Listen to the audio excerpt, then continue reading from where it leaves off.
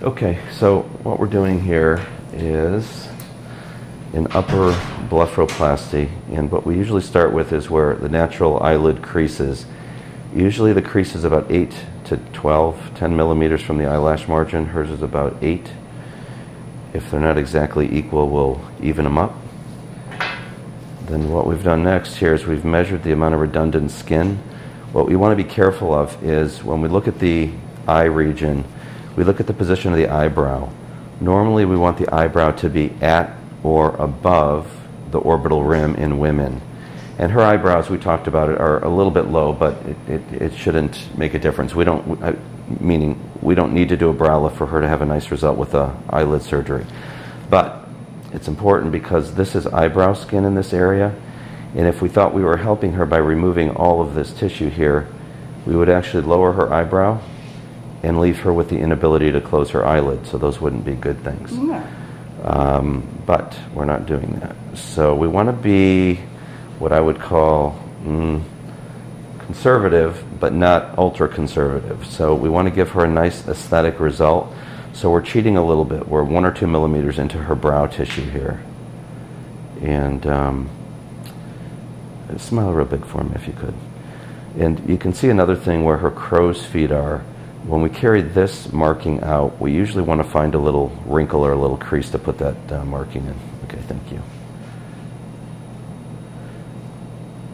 So this is really the big part of the procedure. I think once we've done this, we just have to stay within our lines here. Feeling is that like the little. The injection? Yeah. Yep, the needle is Yeah, actually the same size. Um, you'll, yeah, you'll have a little tiny burning sensation, but uh, it'll, it'll be localized. It'll be numb almost immediately. Okay. Mm-hmm. So I'm going to kind of pinch you here a little bit. These are my fingernails here. Count of three. One, two, three. It's going to hurt right here, and a little stick.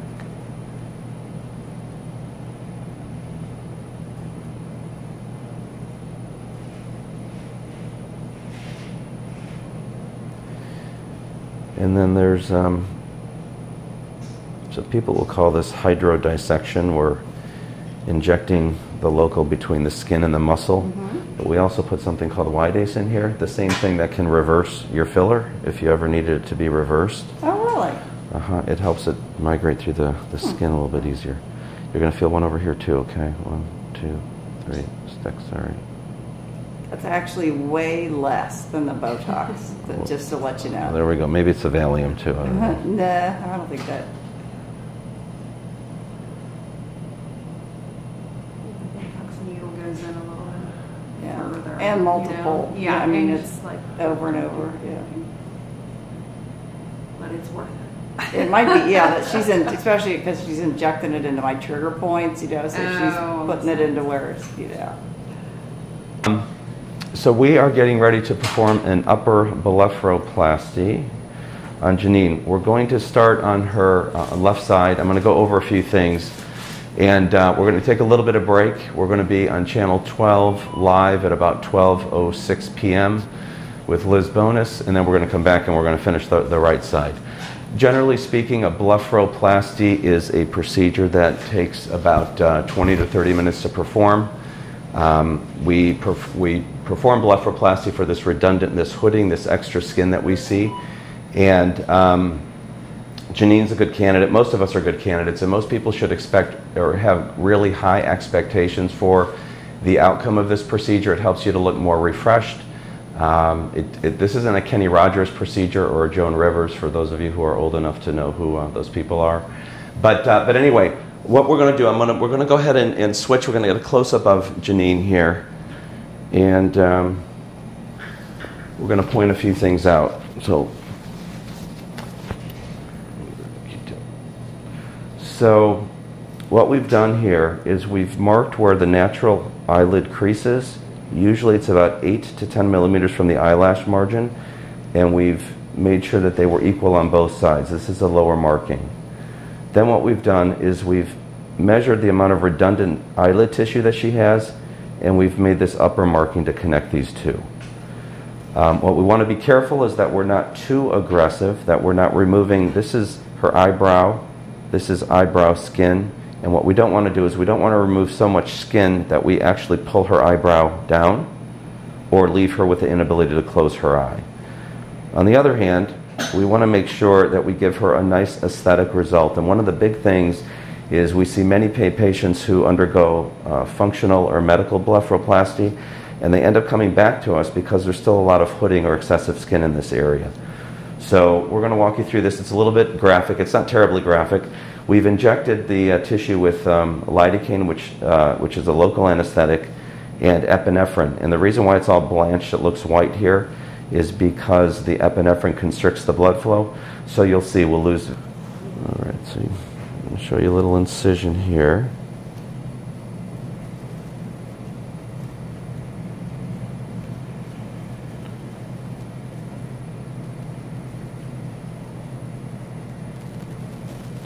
What you just saw drip out of there was a little bit of the local anesthetic agent that we put in there.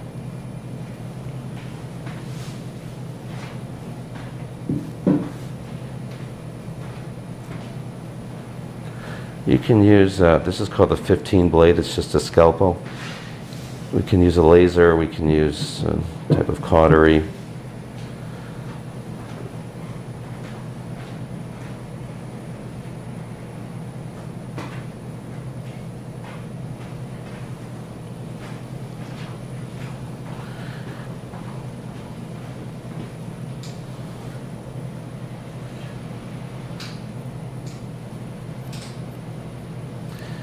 And so what we're going to do here is just real meticulously go ahead and separate the skin. We're going to remove the skin from the underlying muscle. We could remove the muscle at the same time, but it's a little safer just to remove the skin.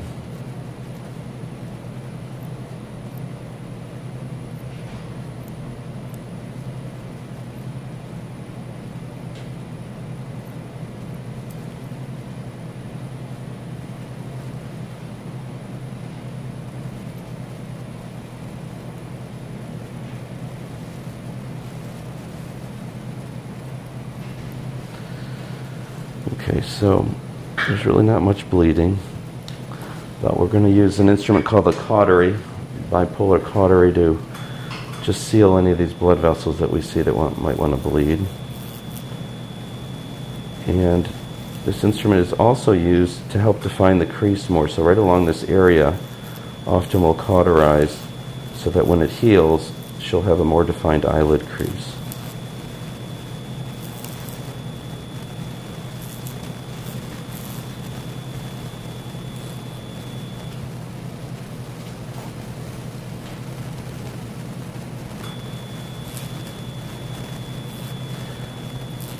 Okay. So some of the anatomy here. Uh, you can see the muscle here. This is the orbicularis muscle. It's a big round muscle that helps us close our eye. It's also the same muscle where a lot of you use Botox in the crow's feet area when we smile.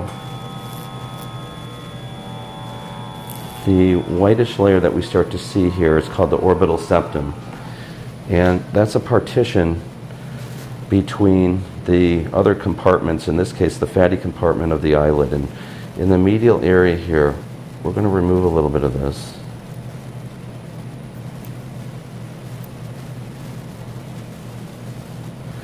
And I'm going to use a Q-tip. A little bit of pressure here. And what you start to see here beneath the orbital septum is one of the compartments. There are two main compartments of orbital fat here.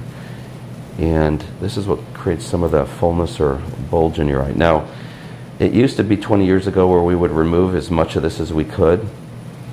It's very exciting when we, when we think we're helping somebody. But the problem is if we remove too much, people get what's called an A-frame deformity. They get a big deficiency of volume here. And that's not necessarily a youthful look. So we're going to remove some of this little injection here you might feel. And all I'm doing here is putting a little more lidocaine in here just so with the cautery she doesn't feel it. And the epinephrine so it doesn't bleed. Oh, actually, I guess we don't need a filter. So we're going to trim some of this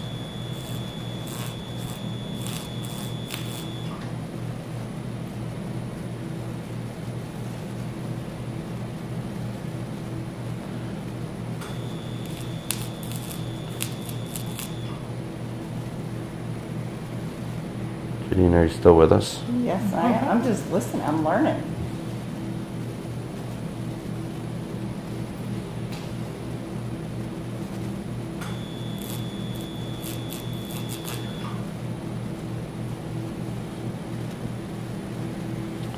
Actually, is it that they're just, uh,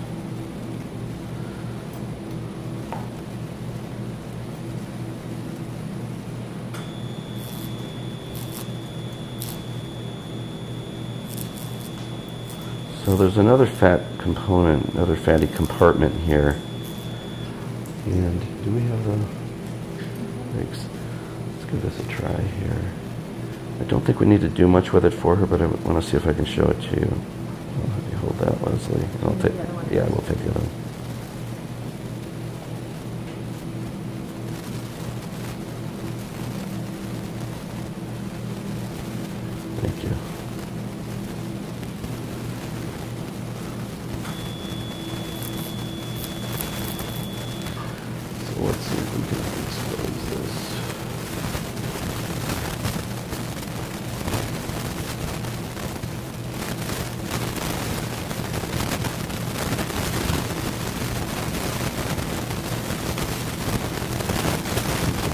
Start to see it.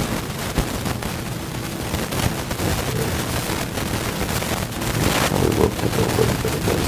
Or what we'll probably do with this one is just cauterize it, shrink it a little bit. So if you look real carefully though, let me try to expose it better. You can see this is a whiter fat and this actually has, it's very stem cell rich as opposed to the yellowish fat that we took out here. Can you see that? You can see the difference in, in the color between these two. And um, this tissue actually uh, involutes with, with age.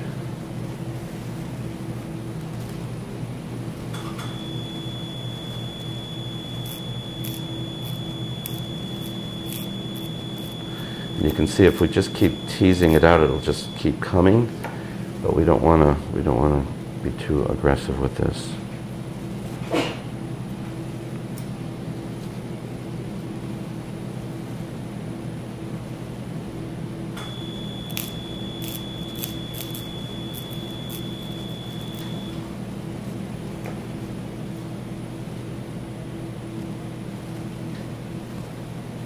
And we use what we call a running subcuticular suture. All that means is that there's a suture that goes from one end to the other underneath its skin.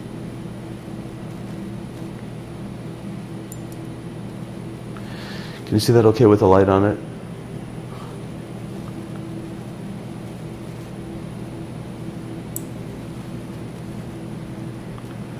And so we want to come underneath the skin here.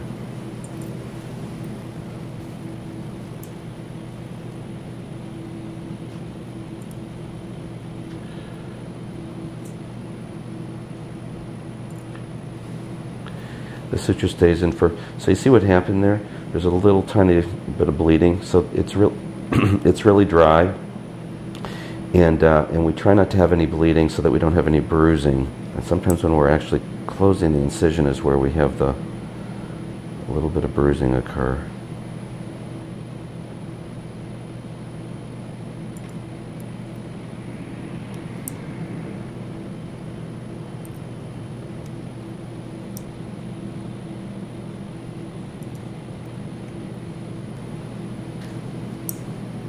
You might feel a little bit of tightness as I'm pulling up on this.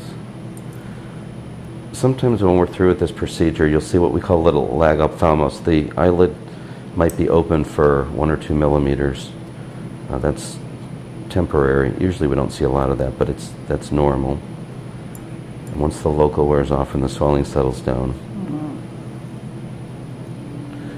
you can see that one little area where we caused a little bit of a bruise.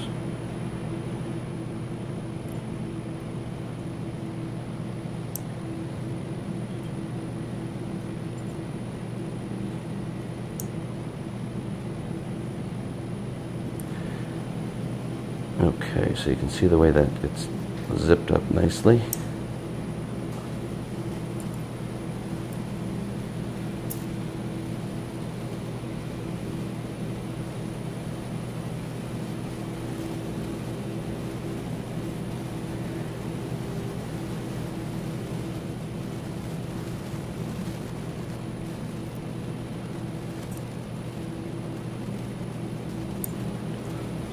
A little knot on the outside there. And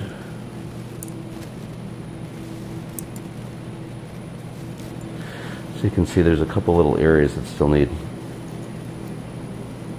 a few little sutures.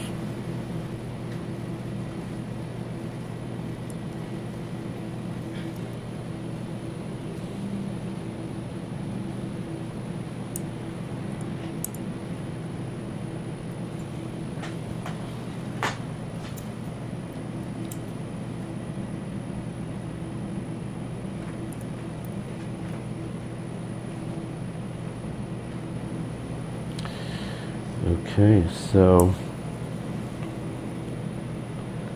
put a couple of these in. These sutures, like I say, will stay in usually about a week. Uh, we want patients to be real careful dressing and undressing, rubbing their eyes, right, so you don't pull a stitch out.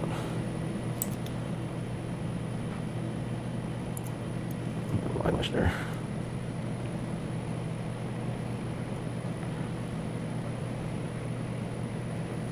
And maybe one more.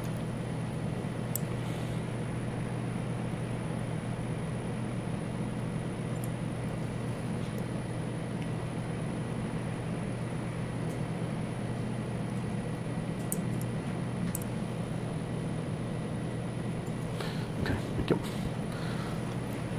So, eyelashes here. So you can get a sense already, just looking real quickly at where her natural crease now will be. That's where we measured it. The extra skin is gone, and we're going to come back in mm, maybe an hour or so, and we're going to finish the uh, the right side.